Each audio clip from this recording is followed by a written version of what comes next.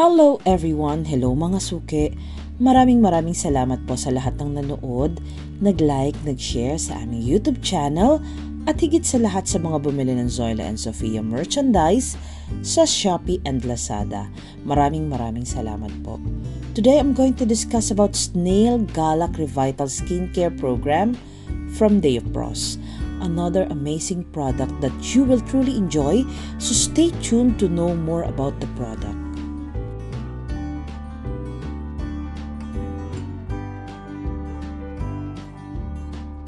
Let's talk about packaging and design. Ito po ang packaging ng Deopros Snail Galak Revital Skincare Program. Nakalagay po ito sa isang box at ito po ay naglalaman ng skin whitening and anti-wrinkle products. Pag binuksan po natin ang box, makikita po natin agad ang brochure. Translated po ito into different languages. So please take time to read all the information.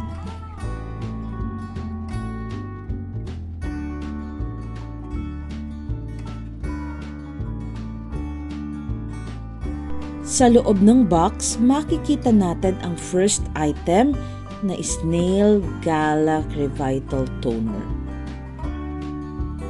Ito po ang packaging at nakalagay ito sa gold Very simple yet elegant ang packaging. At pag binuksan naman po natin, it comes with a pump. So secure ang toner at controlled ang flow ng liquid pag ginamit ito. At the bottom, makikita natin ang expiration date at lot number. At ito po ay may laman na 130 ml. Ang second item na included sa box ay ang travel size Snail Galak Revital Toner. Ito po ay may laman na 30 ml.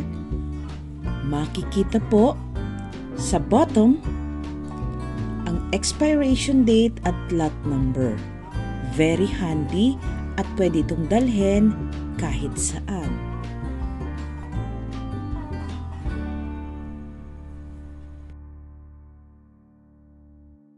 Ang third item na included sa program ay Snail Galak Revital Emulsion. Ito po ang packaging. You can check the expiration date and lot number at the bottom.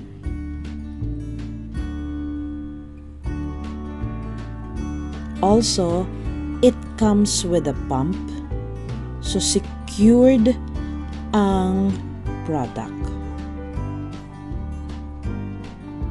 Meron po itong laman na 130 ml. The fourth item that is included in the program is the travel size emulsion. Ito po ang packaging niya.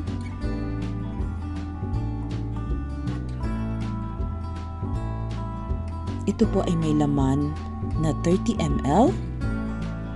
At pag tiningnan po natin sa bottom, ito po ay merong expiration date and lot number.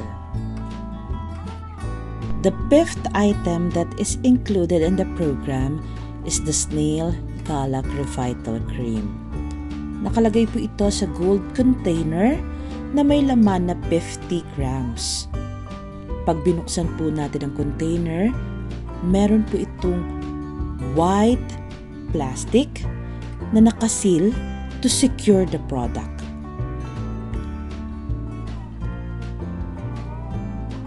At the bottom, you will see expiration date and lot number. The sixth item that is included in the program is the Snail Galak Revital Eye Cream. Ito po ang packaging at may laman na 10 grams.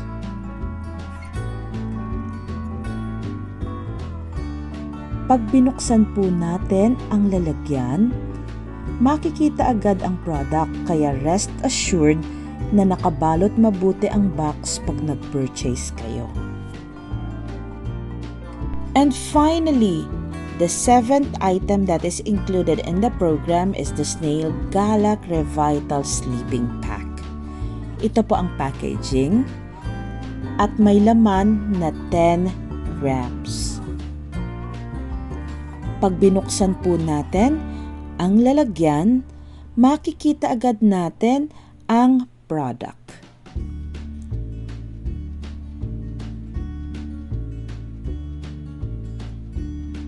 Nasa bottom naman po ang expiration date and lot number.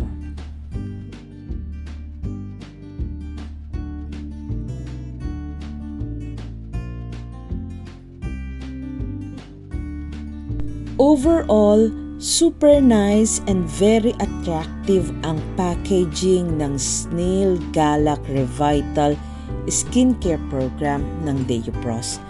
At maganda pa niyan, available lahat ng information about the products. All you need to do is to follow all the steps religiously and consistently.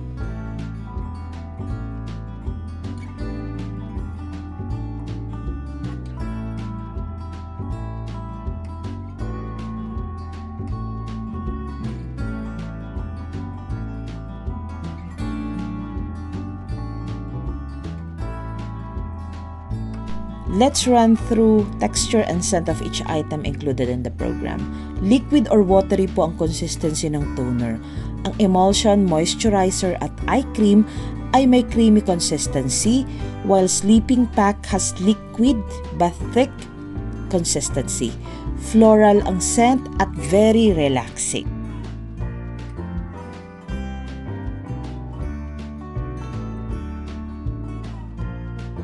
How to use the product. If you are using makeup, make sure to remove your makeup then use facial cleanser to clean your face because that is the most important step. Wala pong facial cleanser na included sa Snail Galak Skincare Program. And then, kailangan nyo rin pong i-exfoliate ang face nyo once or twice a week para malinis ang mga dead skin at para ma-prevent ang formation ng sebum and excess dirt. This is not included in the program but we have good exfoliator that we can recommend. Next step is to use toner. Gumamit lang po ng cotton pads or use PAM. Lagyan lang po ng toner, ipat sa face and neck and let it dry. Maglagay din po ng emulsion sa palm and then spread sa face and neck and let it dry. Next step is to use serum. Wala pong serum na included sa program but we have available serum that is suited for all skin types. Pwede nyo pong skip ang process na ito or yung step na ito pero mas maganda po na gumamit kayo ng serum. Next step is moisturizer kumuha po kayo ng pea size na amount ng moisturizer, spread po sa face and massage gently. Next step is eye cream. Kumuha po ng pea size na amount ng eye cream, ilagay po sa palibot ng mata and then i-massage lang po inside to outside motion. And finally, Paggagamit po kayo ng sleeping pack twice or three times a week lang po gumamit nito.